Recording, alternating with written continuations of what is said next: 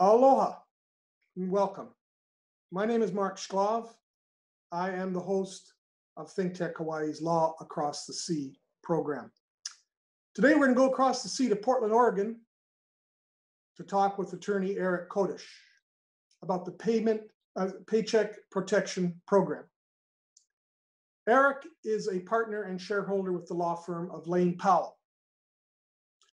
The COVID 19 pandemic has been the impetus for the creation of new areas of legal practice, one being the Paycheck Protection Program, or PPP as it's called. As a business and tax lawyer, Eric has found himself in the forefront of PPP law, advising clients and counsel on how to travel this new road. Now, we got a lot of questions to ask Eric.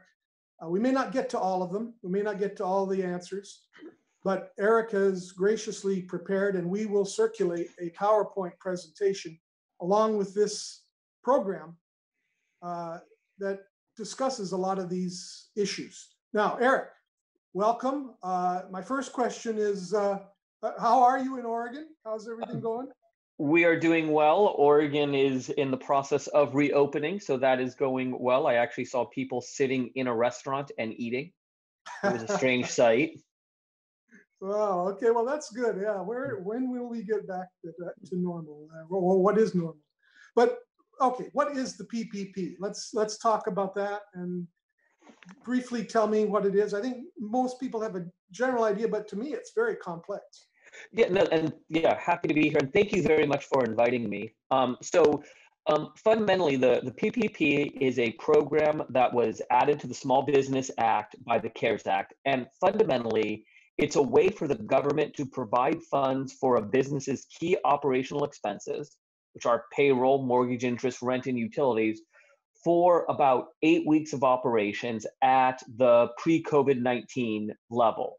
And, and the key is it's called a loan, but it's structured as a forgivable loan.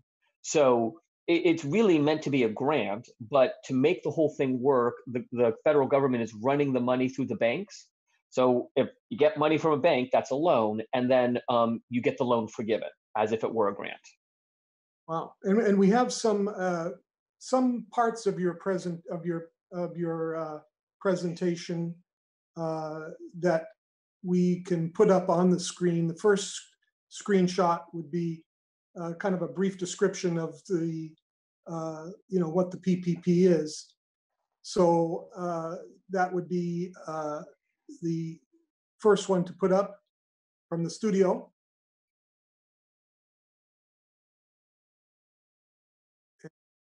It's up, okay and that will give you some idea of what the background is uh, about the start of the PPP and how much can a business borrow under the PPP. That's uh, the next next the next screenshot.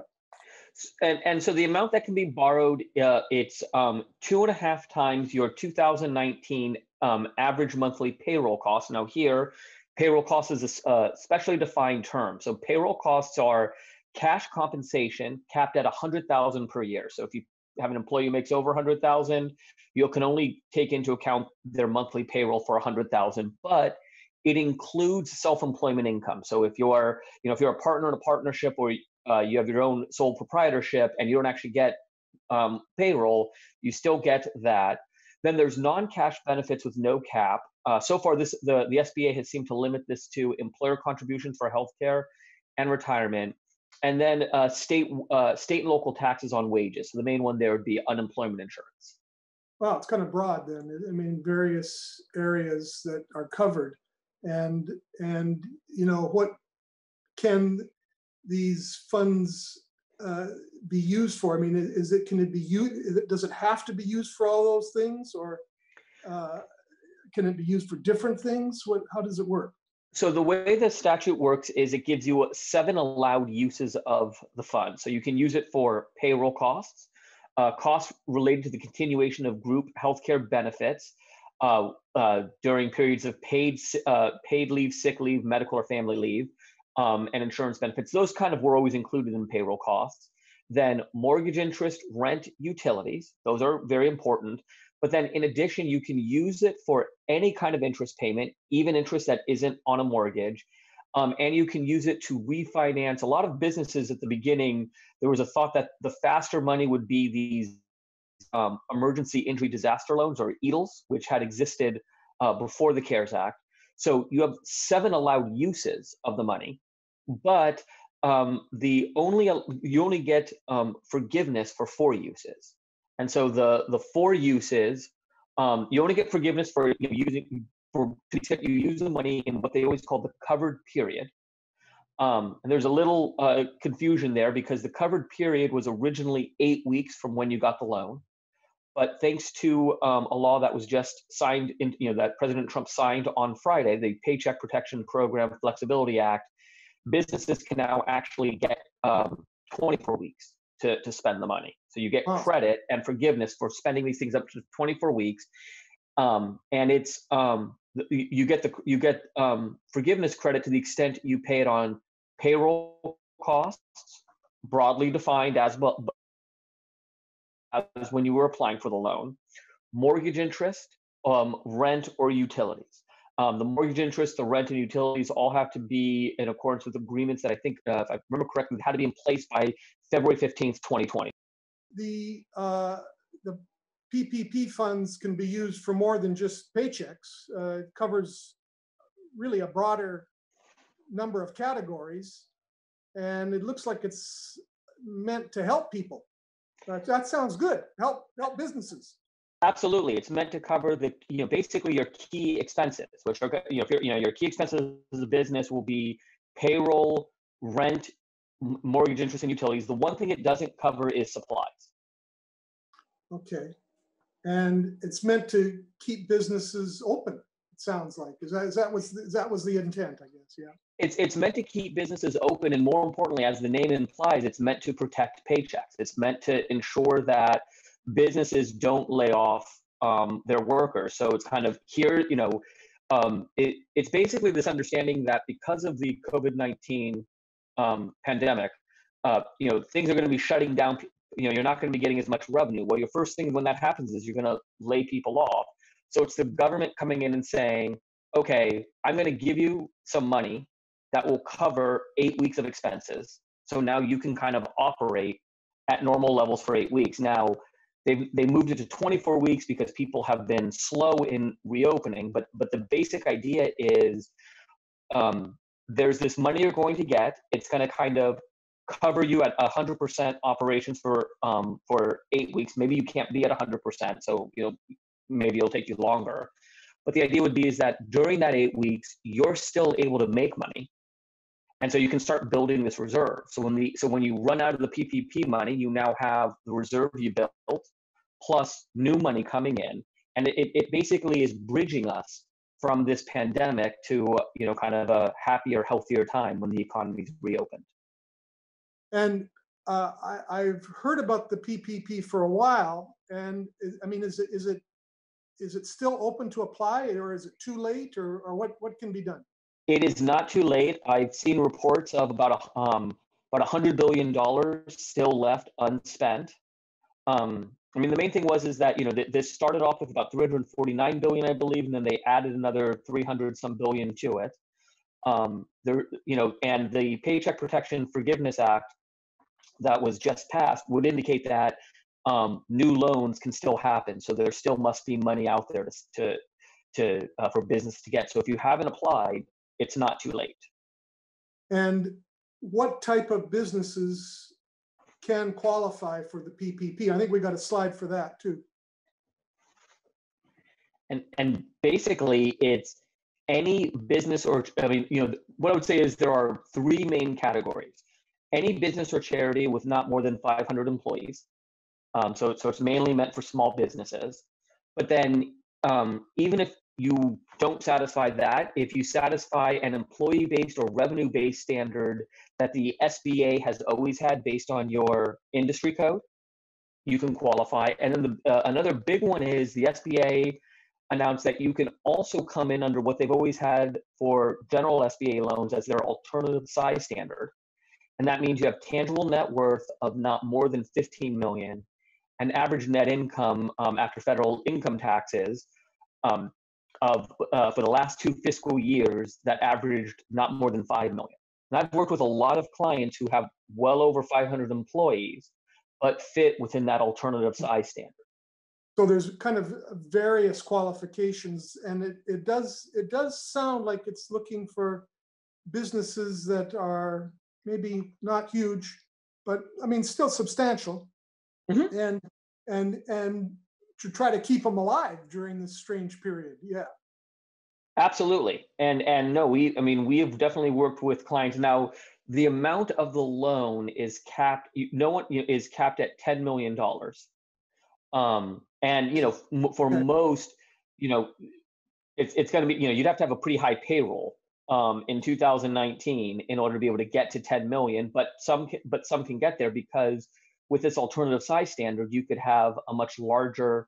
You know, I think one of the big things we've seen is the um, businesses that have um, significant debt, so they don't have tangible net worth over 15 million, and it's easy to get under uh, that 5 million average um, income before tax.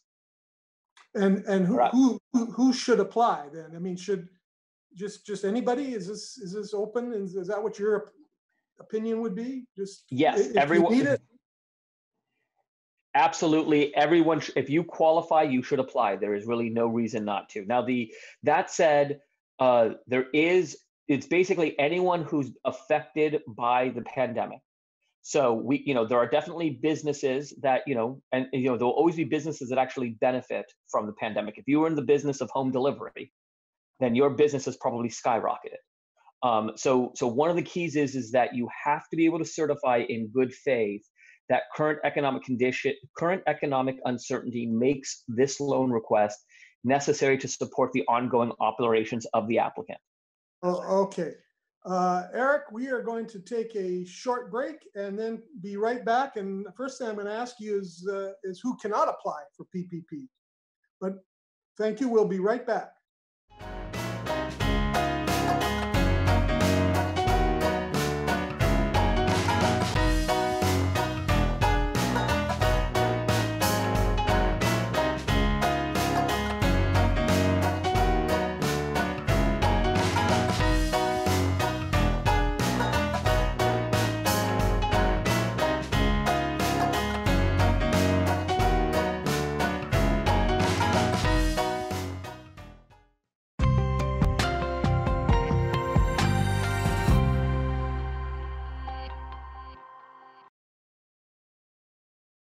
Welcome back.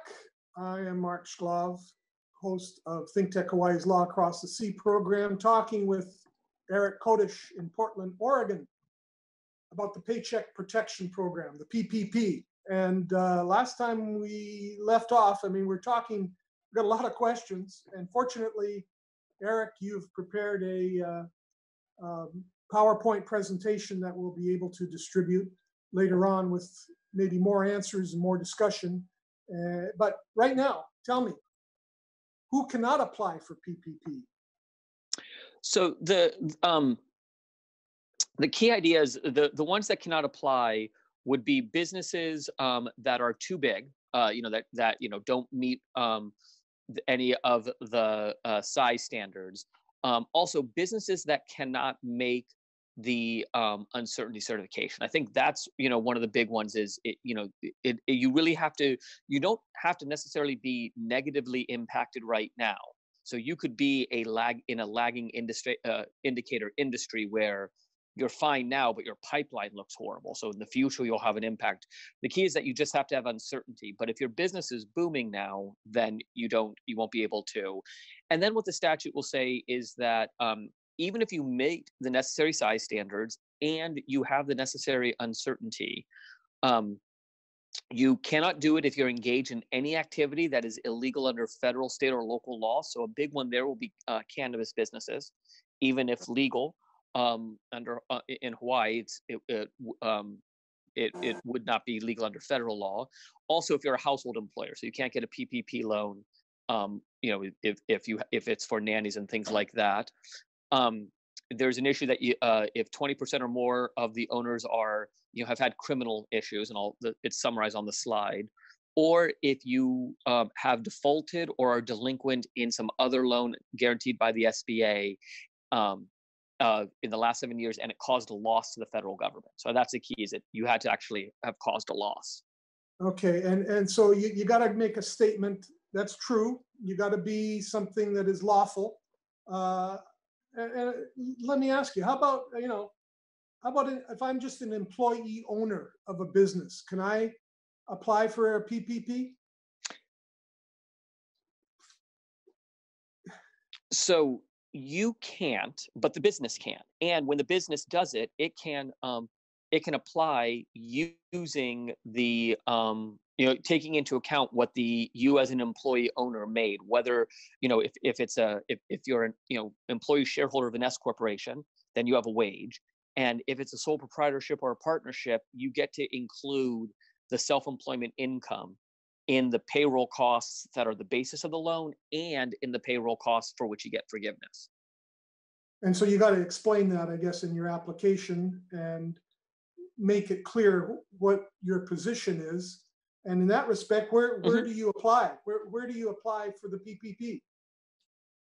your bank uh, you contact your local bank make sure they're set up to take the ppp loans these um, any of the major banks are also small regional banks um, this has been such a big program that you know uh, congress made it very very easy for banks to become um, eligible and um, uh, to make these loans and they've done an effective job of it And, and they're interested in doing it, is that correct? I mean, the banks are into it. Absolutely, because there are, you know, fees um, uh, that they get. Um, Okay. They, you know, there's there is a one percent interest charge. That's you know probably not enough for them. But the main thing is, is you know, this is not a time where the banks want to be lending money uh, to most businesses. But here's a, a loan they can make that is fully guaranteed by the federal government, so they know they're not going to lose money, and you know they can collect normal fees from on it. Okay. And in that regard, then, what is the role of the Small Business Administration with respect to the PPP? so the S- small business administration guarantees the loan uh, they make the final decision on what portion of the loan is forgiven. The sba is the one that pays the bank uh, back the forgiven amount. That's incredibly important. Um, they issue guidance about the loan. So you know uh, the application for the loan is their form. So is the forgiveness application. They issued now 16 um, um, intermediary final or interim final rules. So there's lots of guidance and a- and a, and a, a, a bunch of uh, frequently asked questions. I mean, overall, they basically oversee the whole process. And I guess the banks, what you're saying is the banks like that because it gives them some security uh, and hope hope that they, I mean, well, they, they know they're going to get paid back.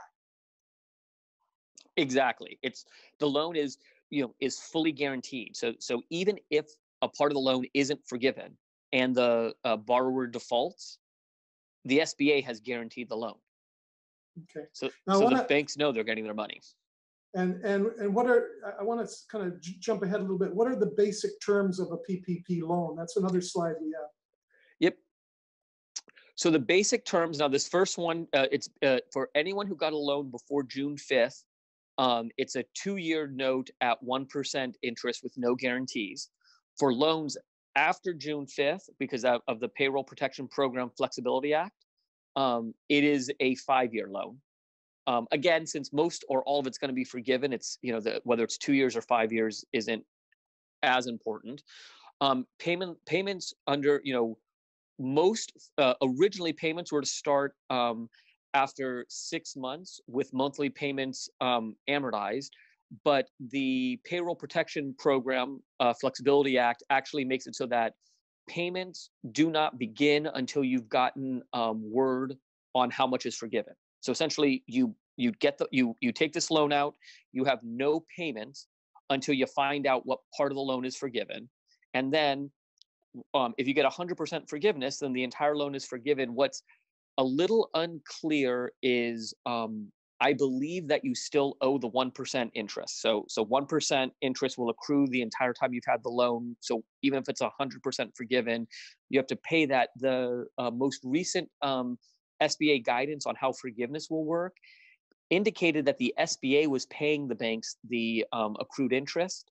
So we'll have to see how it actually works. But I think everyone should just expect that, you know, you got this great loan, um, essentially free money, but you have to pay one percent. One percent, yeah. Um, and again, if you could, you know, if you if you do the whole thing in less than a year, then it's you know less than one percent. Obviously, it's one percent annualized. Wow, that, well, that's I mean that's a really good deal, and and I mean, in order to get your PPP loan approved, is there a basic plan, or how, how do you move forward to do that? Yeah, it's minimal. I mean, it's um, the the you know the PPP loans are designed to be easily accessible by small businesses without attorneys, without advisors.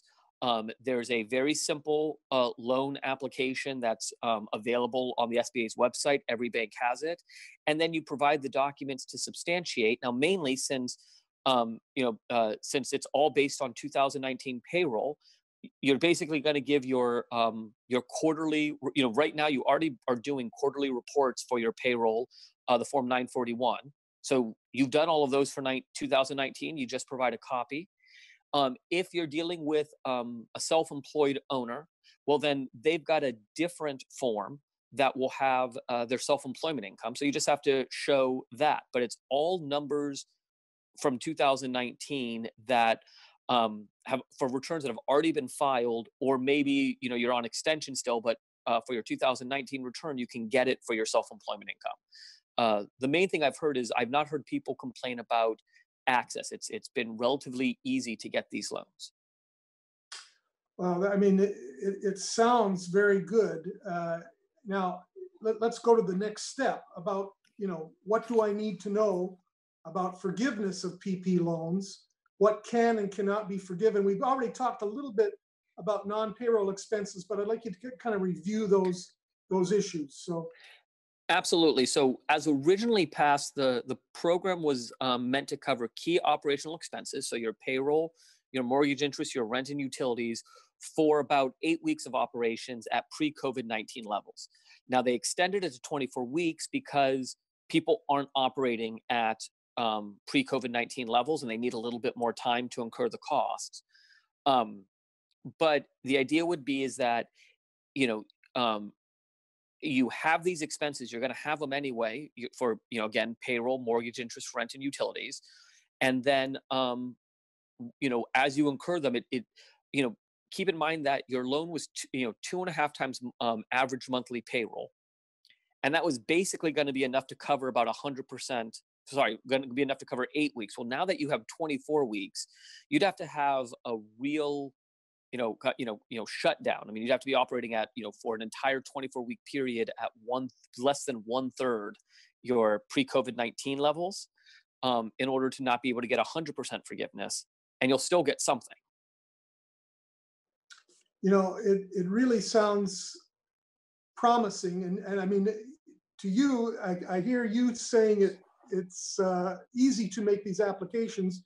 Uh, I'm not a tax lawyer, uh, and uh, you know it, it, does it does seem um, well like I need some help if I'm going to do it. I mean, what what what uh, uh, you know the rules seem to change too. I read you know on your website that there's like every so often there's changes. What's what's all that about? And do you have any concerns about it?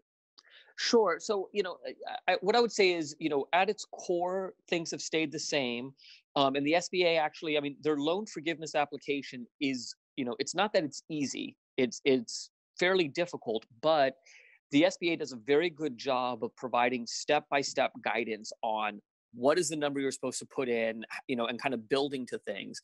I, I would say that, you know, the general rules that are applicable to most businesses are well established, but you know questions arise or keep arising kind of on the periphery and at the edges of well what about you know this or what about that you know a, a good example would be um, you know you, you had at the beginning of this, companies laid off workers because um, because there was no business and they were scared. And at the same time, the federal government stepped in and really improved un- unemployment benefits. Um, you know, extended the period, but also provided, I think, like an extra six hundred dollars a week. So then businesses started getting their PPP loans and they started going back to their employees and started saying, hey, you know what, we've got this money now. So even though we're not getting money from customers, we can still put you back on payroll. And of course, for lower wage employees, the response was, I'm doing better on unemployment. So I don't want to come back. Um, and, and that created an issue that um, people were struggling with getting their employees to come back. And so rules were designed and changed to be able to say to the employer, okay, if your employee won't come back, you won't be dinged. And that takes extra rules and extra complication, but it's there to solve a problem that businesses otherwise would have. And and you know, you you have gotten into this because of COVID nineteen. Uh, you're it's a new area of law for you. You're learning, I think, as you go to a certain extent too. Um, what other business opportunities have come up, and uh, you know, with, with, respect to this? I mean, you know, this has been. I mean, you know, there's all, all kinds of opportunities that are arising from this PPP loan. I mean, businesses have the opportunity to continue full operations despite a drop in customers and revenues. Um, advisors like me have an opportunity to assist with questions um, and issues that always arise from a new regime. It's been an an excellent way for me to meet um, you know you know me to have you know to gain new customers and new clients but also to kind of strengthen my relationship with my existing um, customer you know the existing clients of my law firm of being able to say you know yes we can help with this brand new thing um, banks have this opportunity to continue normal lending operations using loans guaranteed by the government. And perhaps most importantly, I get now personally, I get the opportunity to give a presentation for a Hawaiian audience, which I have never had the chance to do. All right, well, that, that's great. And uh, Eric, I want to thank you. And I want to close by uh, putting up a couple slides uh, that refer to your law firm and how to contact you and maybe how to get more information. You know, you have a very good website. Uh, and we are going to be putting up um, your uh, uh, PowerPoint presentation along with this program, uh, various links, and circulating it uh, within within the Hawaiian community, and I hope within the wider legal community. But th thank you uh, very much, Eric Kodesch. I appreciate this update on the PPP and uh, we'll we'll see where it goes. And aloha to everybody, and thank you for joining us today.